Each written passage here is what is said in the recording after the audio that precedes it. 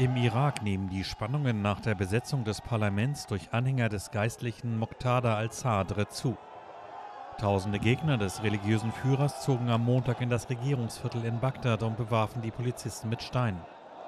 Diese setzten Wasserwerfer ein, um die Demonstranten zurückzudrängen. Zu Sartres Gegnern gehört eine Gruppierung von Parteien und Milizen, die größtenteils mit dem Iran verbündet sind. Die Befürchtung vor schweren Gewaltausbrüchen ist groß.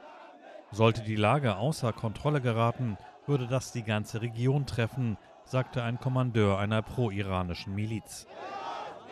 Sadres Partei hatte die Wahlen im Oktober gewonnen.